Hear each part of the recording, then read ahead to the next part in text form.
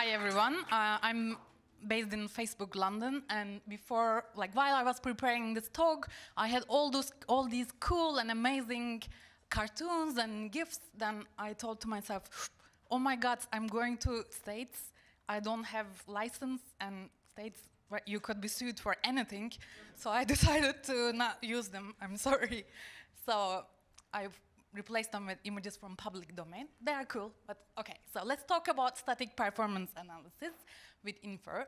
So when you look at the development cycle of how the code goes from like the developers and lands to the product, you see that when the developer writes a code, it first goes through the CI system where you might do some like tests like type checking or run some tests, and then afterwards you would send your code to some code reviewing system.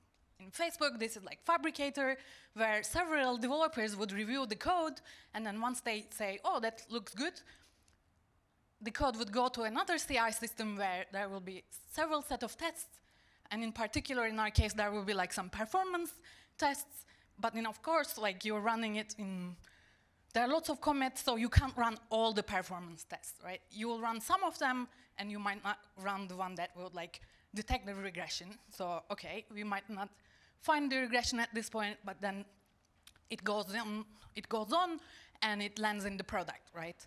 So then developers would be doing like lots of performance monitoring and try to see like has there been any critical performance regressions? And then you'd see, okay, oops, there might be a performance regression, but it's already too late. It's like a car just going down off a cliff, and this is the user, and these are the perfect engineers looking like, what happened? It's like doing a post-mortem and trying to understand, hmm, what could have gone wrong, right? So say like, okay, you've detected a performance regression, and then what do you do? Well, often, finding the root cause of such an issue, such a performance regression is very difficult, right? You might have to go look at like logs and see how things have been, like which commit or which set of diffs might be causing it, and then you found it now. Great, good luck. Now what do you do? Are you gonna try to revert it, or are you try to fix it, right? Well, you can try to revert it, but what if it was like a critical issue that you wanted to launch on your product? Or you might say, okay, like let me fix it. But this process takes a lot of time, and you have to interact with so many developers, like perf engineers or application developers, and there will be a lot of time passing, like a couple of days or maybe weeks, then you will try to say, okay, I fixed it, but then now you will need to double check that your fix improves the performance, right? So now, what is special about performance? When we look at the typical functional verification and testing pyramid, we see that there we have lots of like mechanisms. In this pyramid, at the bottom you have like types, then there are some lints, and you can do static analysis, and then once you have done this, you go up, you have some unit tests, and on top of it, integration tests, and then end-to-end, -end, right? So the, the higher you go up, the more it will be costly and slower for you to do, right? Like I mentioned, you can't run all the tests on a production system. So what is different for performance? When we look at the performance analysis, we see that at the bottom of this pyramid, there is almost nothing, right? Types don't tell you anything about perf. Lints, okay, they might tell you a few things, but they are not gonna be very straight, like very informative. And static analysis, what about static analysis? Can we do something about using static analysis for detecting perf regressions? So that's our aim, and I'm going to tell you how we do this. And our aim is to do it in a way that such issues don't hit the production. So we want to do it before they hit the production. So at this phase, we are like a static traffic control point, and we will tell developers without they run the code if there are any issues with performance, right? And if there is an issue, we will say, oh, wait a second, like take a look and reconsider.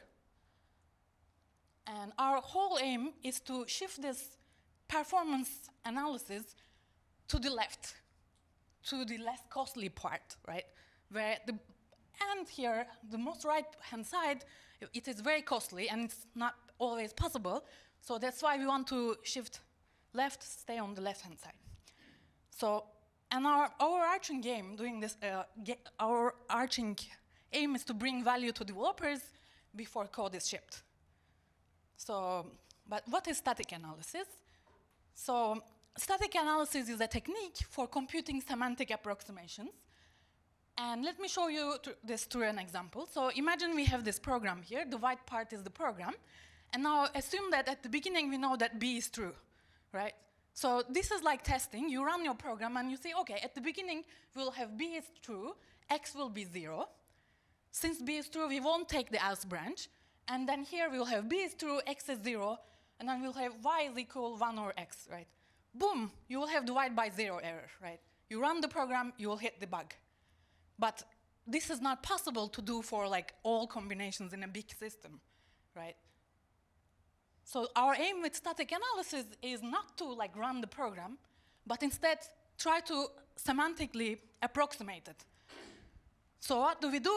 In this case, we'll say at the beginning, hmm, I don't know what B is, right? Then I'll say, okay, the program can take the then or the else branches. So it could be taking like the then branch, then we will have x equals to zero. And the other case, we will have x equals to one, then we'll say, okay, x is non-zero. Notice that here I'm doing some approximation. I'm not saying like x is 0, x is 1. We are over-approximating here, which makes it very scalable. And then I will say, okay, at the end of the branch, I'll have x might be 0. So then I, then I would say, okay, potentially we will have a we might have a divide by 0 error here. So this gives you like an idea about what static analysis does. And what about static execution cost analysis? In static execution cost analysis, we are not just interested in functional behaviors of programs, but also execution costs. So in this case, I have the same program, just slightly modified. In the else branch, I will have like some function called bar. And now try to see how do we compute the execution cost here.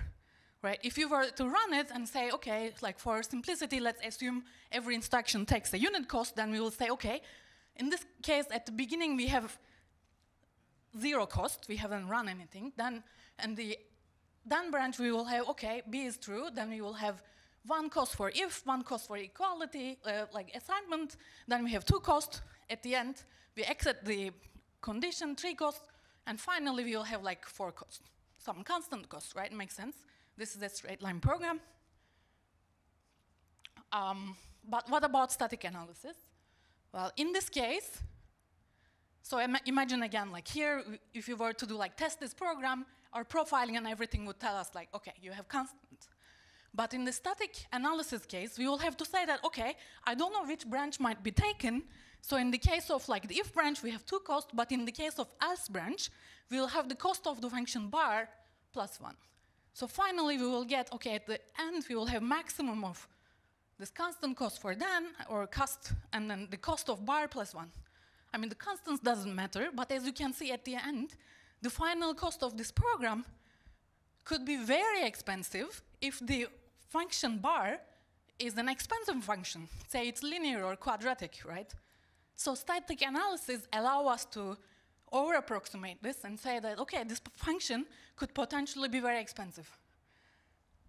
So I will tell you about uh, Facebook's state-of-the-art static analysis tool, which is called Infer, which is, it is open source, and it can detect many non-trivial functional issues, like use after frees, null pointer exceptions, but also static execution cost analysis. And it works for Java and C, C++, like Clang family of languages. And let's see. Um, so remember, like I told you, this process of detecting regressions, right? We have like some perf test or we do some monitoring and then we detect the regression. The reason this doesn't work so well is because so many developers have to like interact, okay, perf engineers, application engineers, and then there will be lots of context switching. That's why it takes a lot of time. So we don't want to replicate the same thing. We don't want to say, okay, I have my mobile, like I have my app, I run Infer on it, and I try to detect say the complexity of one function increases from like O1 to ON. And every day I run this like night nightly and I get some perf regressions. This doesn't work because this will take a lot of time. developers don't want to like switch such like switch between. So they just want to code. They don't like care which tasks you have every day. This will, I mean, they might care. You might have to ping them, but we don't want to do this. We want a better version. And that's why we try to do this at diff time. So whenever developers send their code, for code review, we want to tell them, hey, like look at, there might be some complexity increase. There might be an asymptotic complexity increase in this case. And our aim is not to block the developer.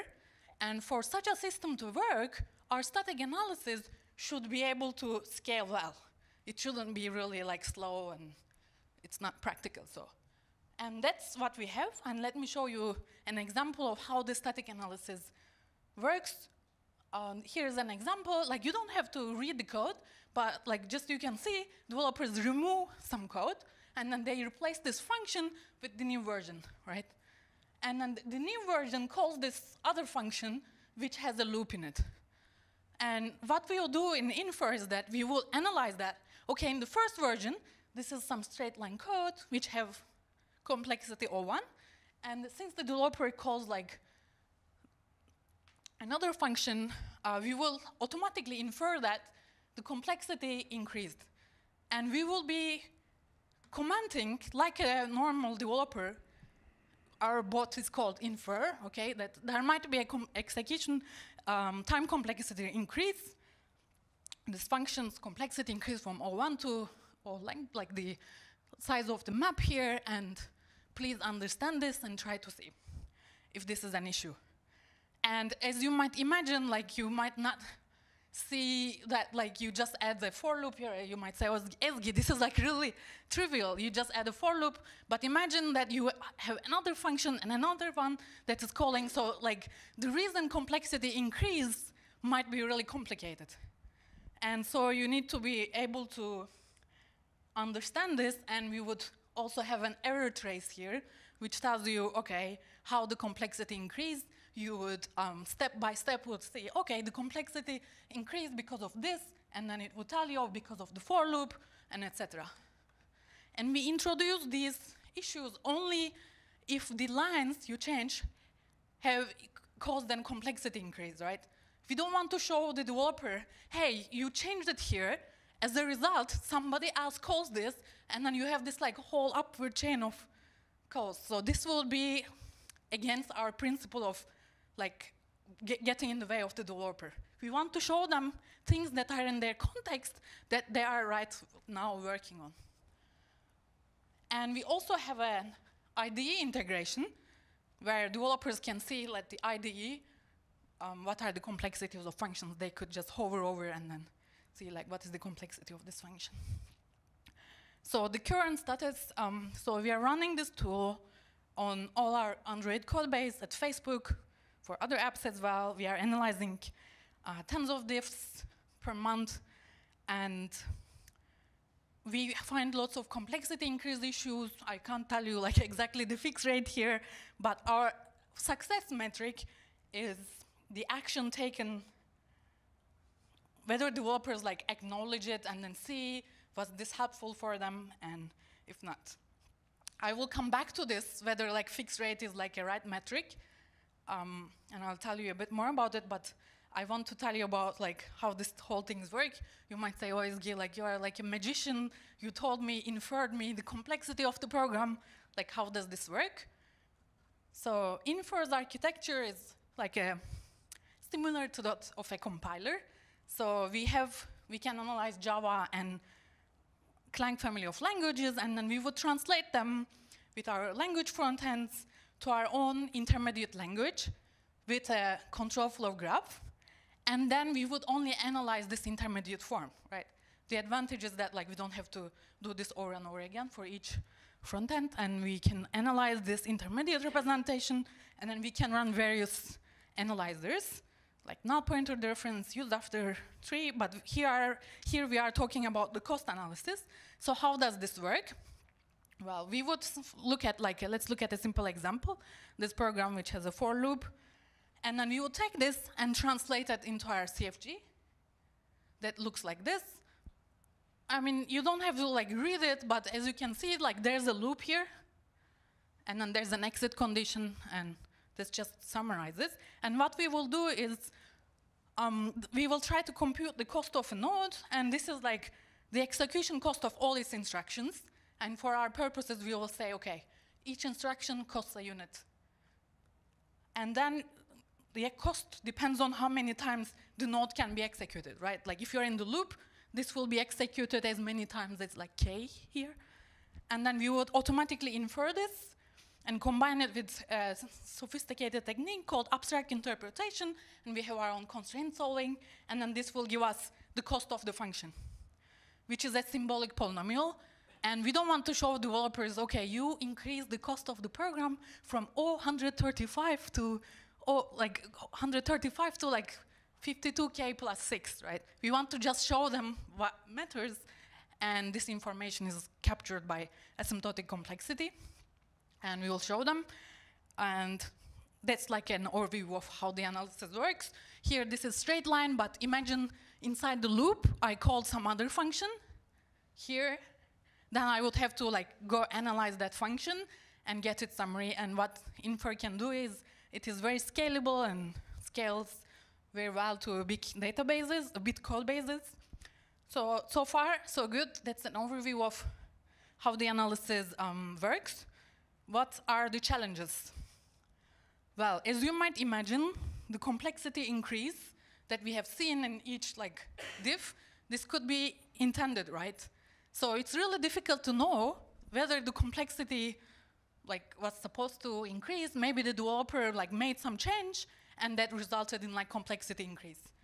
And it's hard to know how the complexity increase corresponds to actual perf metrics. And um, so this is one of the challenges to look at. Like that's why fix rate is not very like useful measure because most of the time developers will want to increase the complexity maybe and we don't want to like we don't know when it actually corresponds to a perf regression.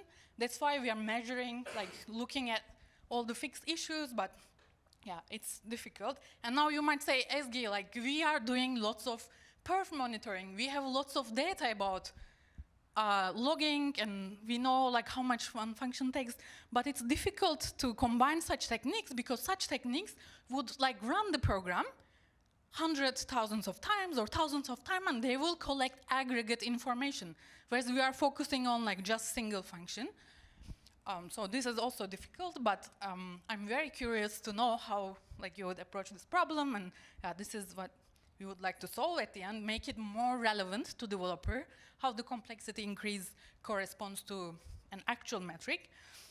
And apart from like all these challenges, we also, I mean, it's not all challenge, right? We also get lots of good feedback. Developers are uh, awestruck that we can, we can really detect such perf issues and say, oh, I didn't know you can do this, or we have detected several um, complexity increases, and yeah.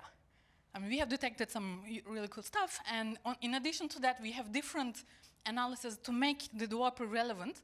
For instance, we can also see that, we can see that um, whenever the complexity increase is on a cold start path, we would make the message more severe, like, hey, you're increasing the complexity, and then um, this is very severe. Okay, so what I wanted to tell you is that, like, I'm coming from a static analysis background, and when I look at like the performance analysis space, I see that okay, like there are all these static analysis experts, and then there's the perf experts who have like really good knowledge about how things work.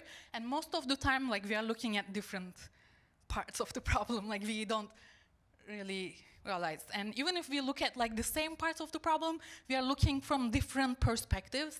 And I'm, what I'm really hoping to do in this talk, like in this workshop is to like understand and try to come together and like see if we can look at problems and come up with like solutions together and collaborate. So I'm very happy to talk to you afterwards. So let our powers combine and let's just talk more about it. So um, to summarize, I've shown you about uh, how cool static analysis could be to detect these performance issues and our focus is on impact not catching like all possible regressions. And infer war warns on these like complexity increases, but it catches really cool other memory issues as well. And it is open source, that's a good thing. You can try it in your own code base and then see if Infer would tell you, oh, how the complexity increased. So this will be the end of my talk. Um, thank you so much. If you have any questions, I would be happy to take them. Okay.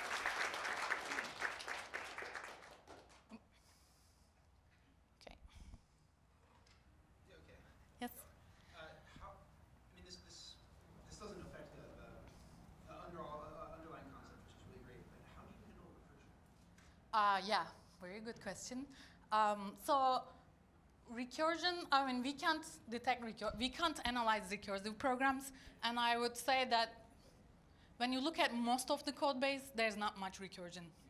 So it works like 99.9% of the time. For the time there's some recursion, we won't be able to do it. Yeah. you can't just, like, you, does it seem like it is categorically impossible? Uh, I don't think it's categorically impossible, but very, very difficult. Right. You might need like a theorem prover to help you do that. I mean, theoretically, it could be possible, and you can combine it with different approaches. But we won't go the extra mile to handle. th- yeah, yeah. Uh, hello. Uh, you mentioned that uh, it was difficult to combine aggregate performance, like actual uh, information how long a function runs, with what you're doing. But is there any effort you try to make to combine? Like we know that in practice, this function takes from like you know this range of time to run, and combine that with what you're seeing in changes that Infer Um, detects. Yeah, I think that's possible to do that. Yeah, I'm. I would like to try. So this project has been like in the like taking the footsteps, running it on scale, and we will we want to do it uh, combine this with dynamic data. But yeah, it's not straightforward, but it can be done with some heuristics, I suppose. Yeah. First of all, really cool work. Like Thank to you. see formal stuff like that work. Uh, I want to see. Uh, I my question is actually on the code generation side, which is, Mm-hmm. uh, is there a way of ext- one? Is there a way of extending this to account for things like uh, instruction scheduling and uh, things like uh, on on the mobile phone, uh, the memory access uh, has serious uh, power costs. Mm-hmm. Yeah, yeah. uh, how chatty you are with the memory. So, and and I think the a more general version of this question is right now you're looking at what the user is doing in terms of writing the code, but I'm also curious if you have looked at what the code generator or the optimizer is doing, uh, Yeah. and maybe detecting regressions there with the same piece of code has Mm-hmm. a different code gen path. Yeah, we, we haven't looked at how like at the backends. We just analyze the source code, right? We don't look inside like how code generation. There are lots of like optimizations done, and we have like our own team that does cool optimizations. We haven't really ventured into that path. Uh, but this technique, I've told you, works for not only execution cost analysis, but other type of codes, like you mentioned memory, or it could work for like battery power. Um, we have tried it for allocation increases, like number of allocations. We have run it in the code base, but yeah, again, we have the same challenges, like how do you map this to the dynamic data? But yeah, really good question. I'll just add uh, two more cents about this uh, question. So basically, there is some research right now that is happening around using QEMU to intercept instructions that are being executed for the actual applications, and then they use it to estimate the cost. But this is still an area of active research, and there is definitely a lot to be done. And hopefully, Infer is gonna also invest in this area as well. yeah, awesome. Hey, um, I had a question about uh, one of the comments you made was determining the severity of the change if it's at the uh, app start or something. hmm Um, do you also add more rules as to adjust the severity of your warnings based on what the code is, where the code is intended to run, or what it's intending to do? Because it might be a similar complexity increase, but depending on where it runs in, say, GPUs or on a low-end mobile device, the impact might be different. Yeah, yeah. We haven't we haven't tried it how where it runs, but we, for instance, on cold start, we would collect like information from profiling and like combine it with like was it running on cold start, and if so, we'll increase the severity. But we haven't explored like other type of places. I think that's a good suggestion. Yeah, why not? Hi. Um, so I wonder, do you have uh, statistics about the false alarm rate, like due to the uh, challenges you just mentioned? Like, for example, um, sometimes when I'm developing a big feature, um, sometimes the uh, performance degradation is inevitable. Um, like, uh, do you have a lot of comments in the, such a large, bi- uh, large diff, or uh, how do you deal with that? Yeah, so we don't like, um, we have rates on whether infer reports and the like developer fixes it, right? They make the complexity better. Um, and we know some of the cases that uh, there might be some false positives, right? I mean, that's static analysis. Um, but it's very, very difficult to know what is really a false positive, right? Even not only for performance, but for real code bases, for like functional correctness, right? So it is very difficult. So this is not something that we can scalably measure. We have, we are collecting like um, information. We monitor the diffs we infer comments on, but scalably doing this, I think, is very difficult. Yeah. But good, good question. Hi there. Um, curious about something that I've seen in practice. Uh, lots of engineers, because of the sort of standard training in undergrad, tend to look at the stat, like the asymptotic cost of their functions, and that's they relatively understand that better.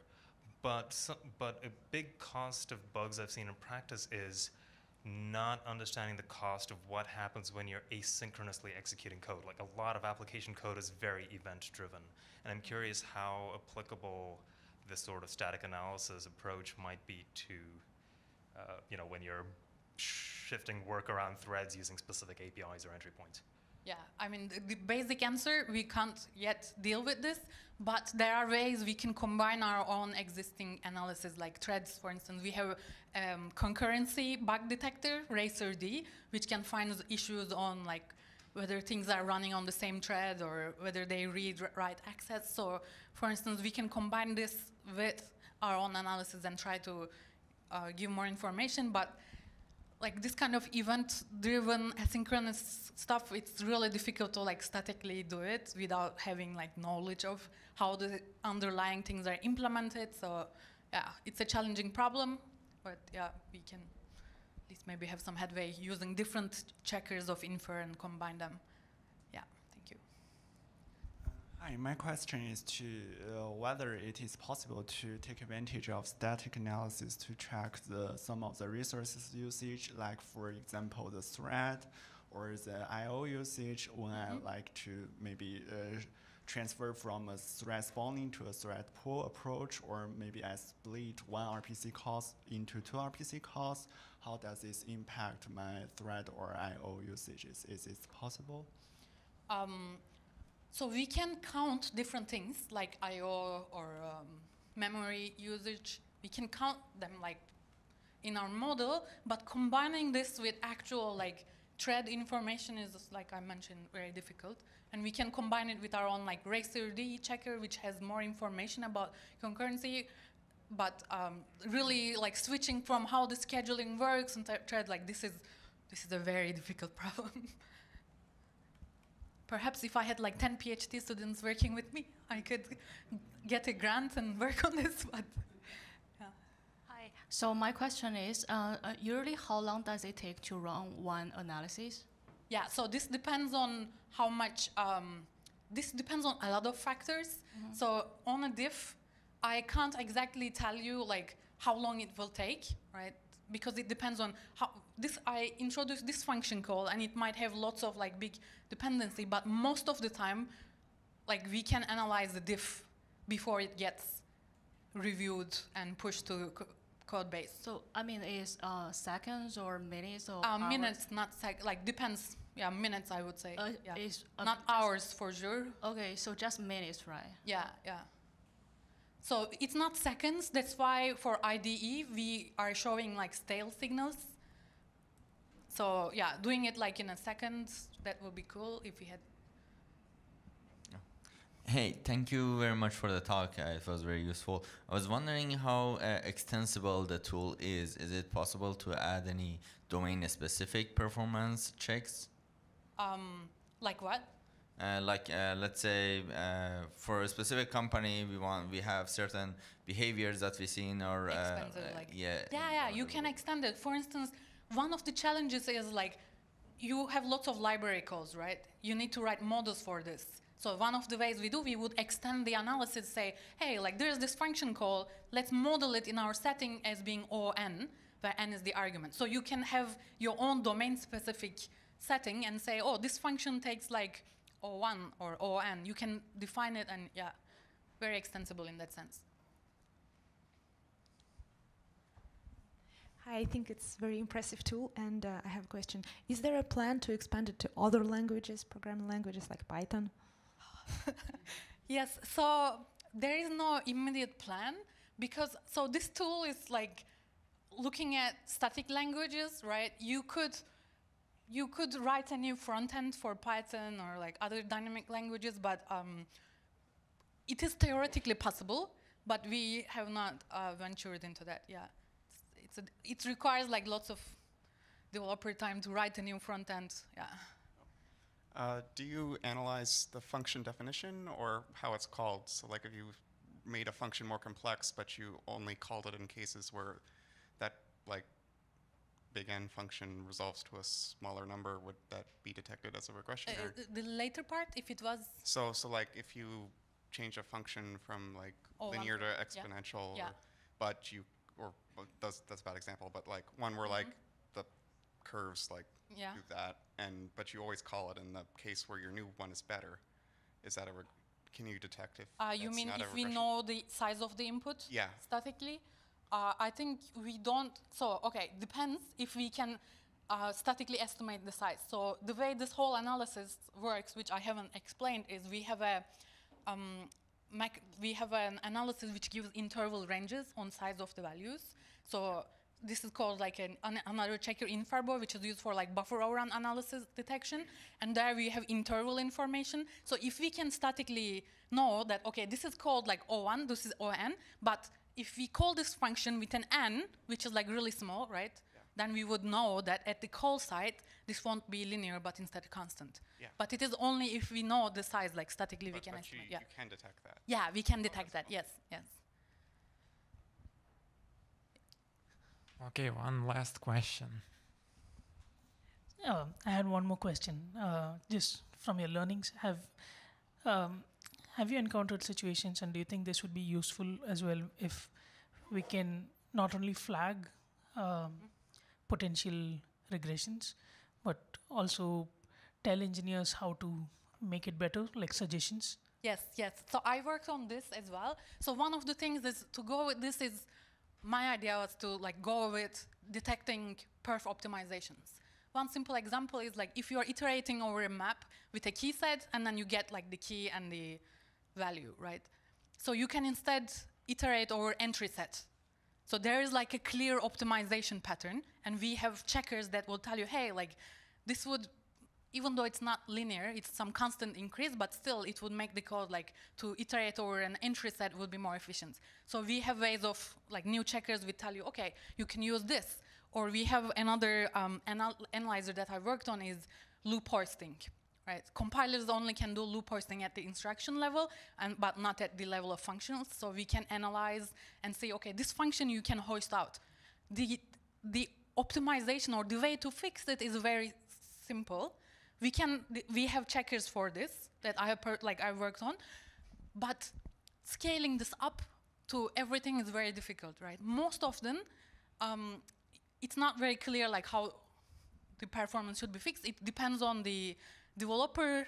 I don't know, but based on my uh, observations, I wrote like these two checkers I have mentioned, and sometimes we have observed things like, okay, you can push this heavy computation into the constructor, This is one suggestion, but statically telling like which one to do, it's not possible in all cases. Yeah, but doable, I think, for a subset of things.